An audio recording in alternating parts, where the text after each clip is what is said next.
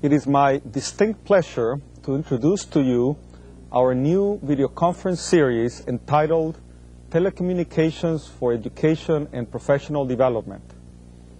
The material has been designed very carefully for professionals interested in the potential application of this technology to their organizations. I welcome you all. This exciting new series will consist of four video conferences to be delivered every year under the traditional format of our International Training Center seminars.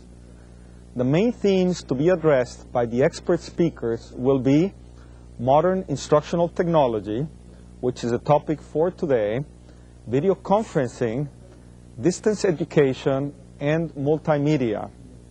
I am certain this new certificate program will provide you with a broad perspective towards one of today's most exciting technologies, yet to be used appropriately, I believe, for education and training. What can be done in this regard? Well, I believe that the first step in getting your organization involved is to take the simple capability you currently have to transfer or receive information via an old telephone line or a computer hookup, resources which up to now have certainly supported successfully most commercial applications of the telecommunications industry, and to convert this capability into a true instructor-learner interactive system, however simple it might be, where managers and employees located at their work site or at their homes are now able to see and hear each other under a pre-designed format.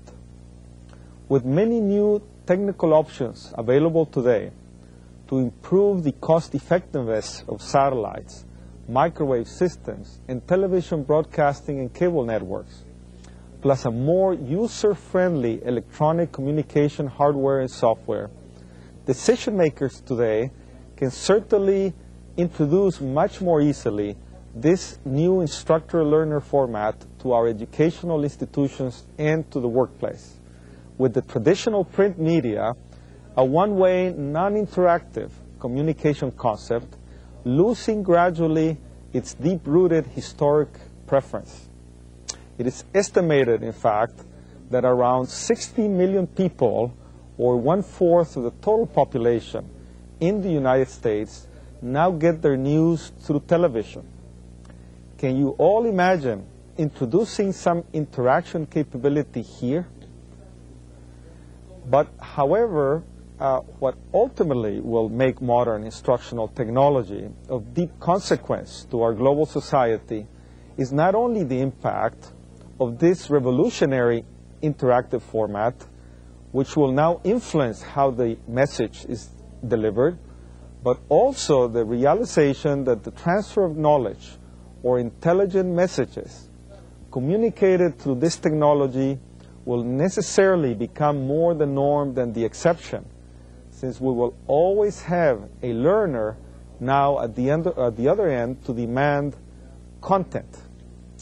Organizing and managing appropriately the state-of-the-art should be, therefore, the very first step towards making sure that our society does not fall trap to the compelling dangers of an easily obtainable technology which seems to invite us ever more to communicate more and more but without really saying anything to each other. The crucial and important symbiosis of trans trainers, educators, with modern instructional technology experts can only be done with the support and understanding of government officials, business executives, and decision makers involved in general with human resource development and resource allocation within our organizations.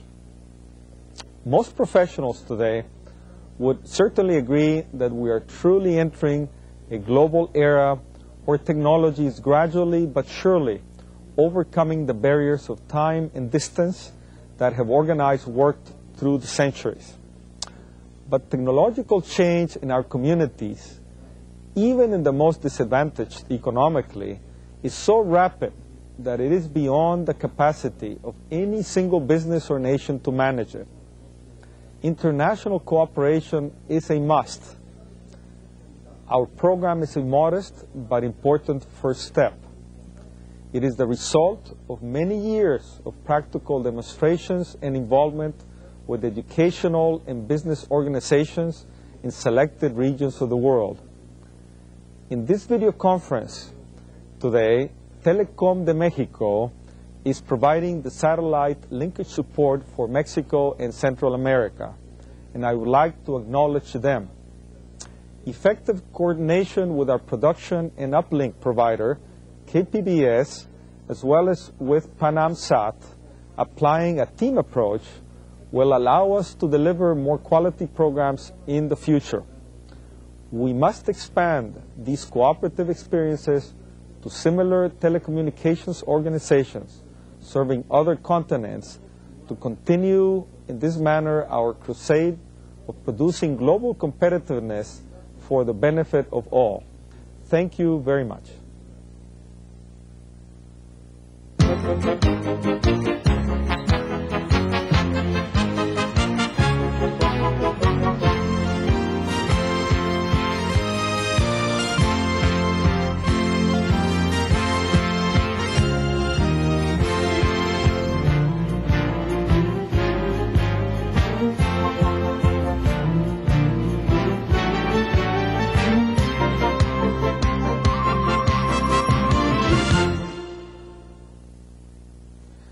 Welcome from the International Training Center at San Diego State University and the studios of KPBS TV. I'm Dr. Michael Real, the moderator for this teleconference. We are broadcasting live via satellite in the first of four sessions on the topic of telecommunications for education and professional development. It is my pleasure to welcome our experts and all our participants today from Latin America, as well as our friends from the Organization of American States in Washington, D.C. This series of teleconferences is designed for the non-specialist interested in the potential application of learning technologies in organizations seeking to be successful globally and locally. Our certificate program gives you a new understanding of the potential of today's most exciting and useful technologies. We'd like to remind the coordinator in each receiver site to collect the attendance sheets and mail them back to us as soon as possible include the evaluation forms filled out by those interested in receiving the certificate of participation. This teleconference is itself an example of our topic today, innovative technology applied for training and education. Telecommunications is people communicating with and through technology over distance in real time. Telecommunication is the basic electronic technological connection made between a sender at one site and a receiver at another site. What occurs is that the words and images from the sender are encoded into electrical impulses. These impulses or signals are transmitted over wires or through the air and then are decoded at the receiver site so that the electrical impulses are changed back into the original words and images. The receiver is able to see and hear the same thing that originates at the sender site, even though the messages have been transmitted in a different form through many relay devices. This relay transmission normally involves several stages, including a wire or cable and a satellite or microwave connection. Many amplifiers or other signal mo modifications may occur along the route. The genius of a good telecommunication system is that for the user it is transparent. That is, the user doesn't have to think about all the encoding and decoding and signal modifications and transmissions along the way. The user talks with the receiver and the receiver talks back. Telecommunications facilitate human and machine interaction. Our satellite connection today provides one-way video, you can see our guest experts here, and two-way audio. We can talk with you and you can talk back to us. Satellite, microwave, and wire transmissions link the International Training Center and all of you at our downlink sites. Are you looking forward, like I am, to the World Cup 94? All over the world, Cup fever is building now. the very same technologies that will make it possible for more than 1 billion people to watch the World Cup live in the next month can also be used effectively for training and education. Let us share with you some ways to do this. Telecommunication technologies link us together, whether they are traditional telephone or the futuristic information superhighway, whether they are a user-friendly computer program or a fancy fiber optic network linking training sites, telephone, television, computers, satellites, cable, imaging systems, virtual reality, you name the technology and you can bet there are excellent applications of it for training and education. In fact, there often seems to be too much technology, too much to understand, too much to keep up with. Am I right? But the positive side of this abundance is that we no longer have to start with the telecommunication technology and ask what it can do. Instead, we now start with the question, what do our employees, our students, our colleagues need to learn? Then we find the appropriate technology to do that. Appropriate technology, like sustainable development, means that we consider the benefits and the costs and find the best fit for our very specific, very particular situation and needs. That is what telecommunications now can do. Technology also allows us to ask, how do our employees and students best learn? The print media of books, newspapers, letters, and memos are still with us. But electronic media have opened up great new possibilities. Technology can bypass illiteracy, making education and training work for those who are not eager readers. Technology can facilitate individual learning at a computer or group learning through video. Better than older print media, telecommunication is interactive. The ability of the employee, the learner, to interact with the source of instruction is essential for real learning. New technologies make this enhanced teacher-learner interaction a practical reality in the workplace and in our educational institutions. In the all too near future, tools for the interactive transfer of knowledge and intelligent messages will become the norm rather than the exception. Knowing how to organize and manage the state of the art is the first step toward making the dream of dynamic learning available to our companies, our schools, and our communities. Telecommunication is a set of tools waiting for us to implement them for innovative, dynamic, effective education and training. The famous newsman Edward R. Murrow once said of television, this instrument can teach, it can illuminate, yes, and it can even inspire. But it can do so only to the extent that humans are determined to use it to those ends. Otherwise, it is merely lights and wires in a box. Let us hope that our live teleconference today will better enable each of us to use telecommunication technologies to teach, to illuminate, even to inspire. Many applications of telecommunication technology can be extremely effective for professional development and learning. We have three experts on this subject with us today. Dr. William Broderick has been Director of Media Technology Services at San Diego State University since 1977. He has authored many articles and papers on the planning and management of instructional technologies, on copyright issues, and on evaluating training models. He currently manages a large set of telecommunication facilities and a large professional staff. Welcome, Dr. Broderick. Dr. Bernard Dodge is a leader in new technology models and training tools. As professor of educational technology at San Diego State, he has created software designs, teacher training, and interactive instruction models for the workplace. He holds a BA in electrical engineering and an MA and PhD in instructional design. He is a consultant to SENAC in Brazil, the Academy for Pedagogical Sciences in Russia, and many multinational corporations. Welcome, Dr. Dodge. Mr. Richard Strobridge is president of Teleimages Incorporated, a recognized video systems consulting, integration, and products company based in San Diego. He has been providing telecommunications solutions for industry since 1981 and has created a number of video configurations to solve unique problems.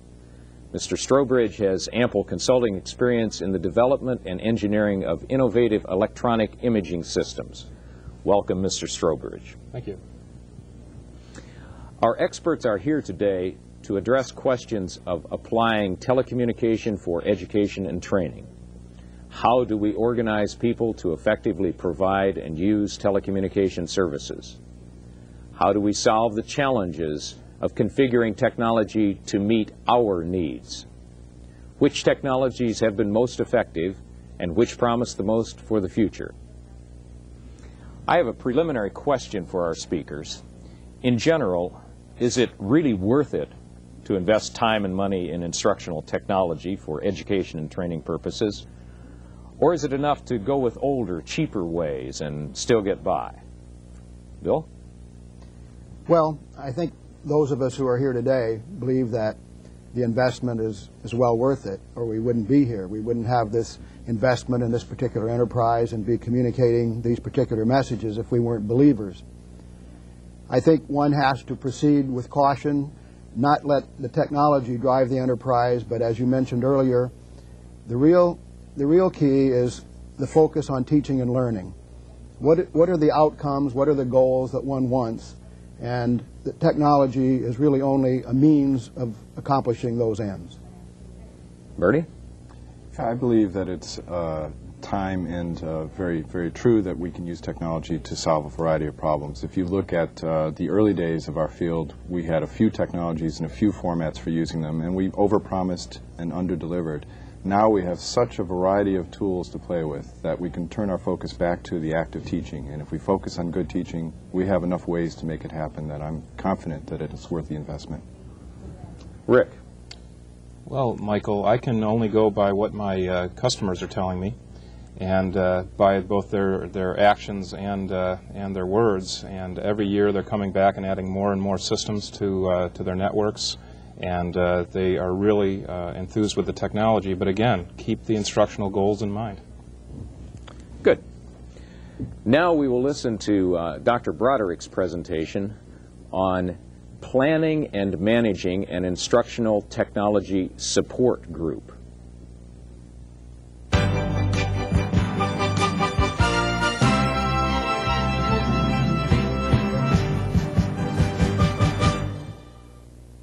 In our presentation today, we will look at planning and organizing an instructional technology support group. Such a support group can be as important to the training activities of a business or industry as it is to the instructional program of a school or university.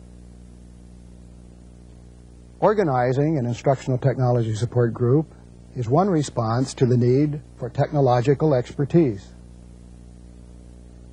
Another way of responding to such needs is by contracting with an outside vendor of course, it may be desirable to use a combination of these two approaches, establishing an internal group for dealing with day-to-day -day services and employing external services for assistance with new projects or for solving specific problems. What is instructional technology? It is more than just audiovisual equipment, videotapes, and computers.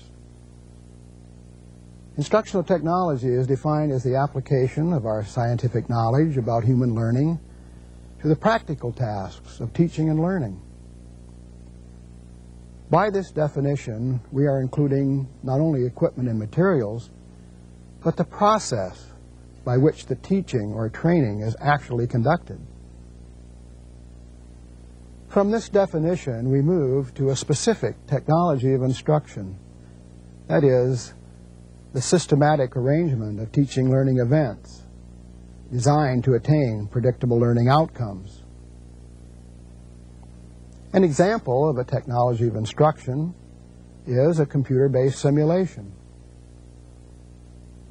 Planning the support group begins with a vision, such as the vision of an instructional setting in which all instructors are aware of and comfortable with using all appropriate technologies, and where these technologies are supported by a knowledgeable and responsive staff. The support group is the knowledgeable and responsive staff. A vision, then, is a concept of a desired state of affairs. In the division statement, a key phrase is appropriate technologies. What are appropriate technologies? And how do we create appropriate technology systems? Appropriate technologies are determined by their effectiveness in the teaching learning process and by the cost of that effectiveness in terms of time and money. We create them by basing our decisions on principles of teaching learning and on principles of sound resource management. We then implement these decisions through the activities and programs of an instructional technology group. Technology systems include people, equipment, materials, facilities, and processes. We will be looking in detail at each of these features as we examine a number of technology systems. Each technology system is developed in response to a particular objective or set of related objectives. A few moments ago, I talked about the vision, which could lead to the formation of an instructional technology support group. On the basis of the, of the vision, a set of goals is developed. Some likely goals of the group might be to provide a facility where instructors can design and produce their own computer-based instructional materials, to equip all instructional locations with such basic technology as projection screen, overhead projector, television set, and a video cassette recorder. To develop a facility for the organization and reception of instruction by distance learning technology, and to provide instructors with an understanding of how te instructional technology should be designed, consistent with principles of teaching and learning. Out of the goals, functions develop as plans are formulated to reach the goals. The functions of the Instructional Technology Support Group will most likely be of four generic types. Creative, the design and production of media. Technical, the design and installation of facilities and equipment systems. The operation of technical systems. The maintenance and repair of facilities and systems. Managing, acquiring and circulating equipment and media, data collecting and reporting, consulting, working with instructional staff to improve their teaching and testing procedures, providing leadership to development of new courses, working with instructors in the design of instruction. For these functions to be carried out, programs and activities will have to be developed. Let's look at some examples of programs and activities related to each of the functions. In the production of media, the trend is clearly toward digital multimedia. Multimedia production requires the integration of such skills and abilities as videography, video editing, computer graphics, instructional design, and either computer programming skills or the ability to use computer authoring software, such as Director or Toolbook. These authoring programs provide the user with the capability to integrate text and audiovisual materials into a cohesive presentation. Television or video continues as an extremely valuable medium for instruction. Video discs particularly offer a great deal of instructor control to the sequence of a presentation. It is not that difficult or expensive to have a videotape converted to video disc. Graphics design and production and photography are still components of most media production units. There will always be a need for creative people, but they may have to modify their skills somewhat. Electronic imaging is revolutionizing both of these areas as the technologies are converging to digital. The distinction between photographer and graphic artist begins to blur as the graphic artist scans a still photograph into a computer or grabs a frame from a videotape and then changes it pixel by pixel into an image essential to the message being designed. To create the desired effects, both photographer and graphic artist will have to become familiar with such computer software as Photoshop, Freehand, and PowerPoint. The distribution of media is becoming more and more electronic based. Some organizations have a closed circuit television system connected to instructional locations, including lecture halls, classrooms, and laboratories. Teaching stations are sometimes equipped with a touch-tone telephone, which can be used to call a videotape player in the television master control. Once connected, the telephone becomes a remote control by which the instructor can control the video cassette recorder or video disc player. Some institutions are now experimenting with using computer networks to provide instructors with access to a wide array of media, including video, audio, graphics, still pictures, animation, and text on demand in their classrooms. One way to do this is to use a mainframe computer as a giant hard drive or mega server which could store all desired media. These media can then be accessed from the classroom by computer terminal and presented in any order the professor chooses. There are several engineering and technical functions, including the design and assembly of systems and the maintenance and repair of equipment and systems. The technical staff may become immersed in the design of two-way interactive distance learning facilities. They will look at video cameras, monitors, audio systems and controls, and weigh the pros and cons of voice-activated microphones versus push-to-talk microphones. They might design a control room, which would control two different facilities, one primarily a classroom, and the other primarily a conference room, which might also be used for small classes. The design of these technical components is done in consultation with the teaching learning professional who makes sure that the technology is appropriate to facilitate learning. Technological expertise also contributes to facilities design.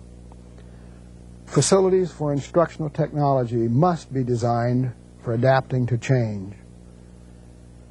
Three major considerations in being able to adapt facilities to new use are providing adequate heat, ventilation, and air conditioning,